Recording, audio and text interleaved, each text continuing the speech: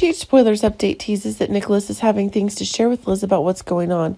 But really, if Liz herself is not able to accept Nicholas's actions, that's too personal. But really, when Nicholas and Liz themselves are getting in the same boat, things seem to be getting crazier and crazier. It should be remembered that it was Nicholas who wanted to give all the assurance to his child that Esme was carrying in her womb, but it was Liz who had the real annoyances. But neither of them seem to have had any more crazy conditions as Spencer himself is receiving the unexpected news about the identity of a person in custody. But the doubts that Spencer himself has are growing more and more. But really, if Nicholas himself is being cornered, Liz is also more involved than ever. Now there's one of the powerful troubles, and Nicholas himself will face one of the new disasters. Drew and Carly are having time to celebrate. It seems that both the new year both is coming later than those in Port Charles, but really things are able to get even more explosive if Carly's own intentions can be played out.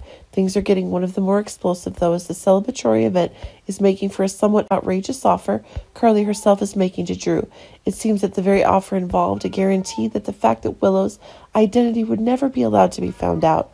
But keep in mind that if Drew himself is really at an impasse, the conditions that Carly is bringing are making Drew's thoughts more and more. It should be remembered that if Carly herself is actually having more fearful conditions, then it's one of the more surprising things to be able to see that things are becoming more and more clear. Carly is afraid her interests will disappear, and beyond that, Michael and Drew might expose her. Carly is making the most of the time as quickly as possible.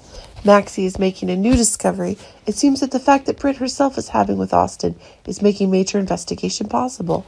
But things seem to be taking a different turn when Maxie herself has suspicions that an escape plan Britt is preparing with the help of Austin could lead to a dangerous situation.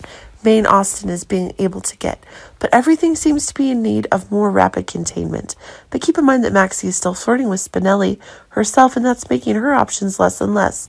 If it is true that Maxie, who is noticing that the betrayals Austin himself is having with her, a revenge is brewing. In fact, things are heating up as Maxie herself will clarify things with Austin to make his life choices easier.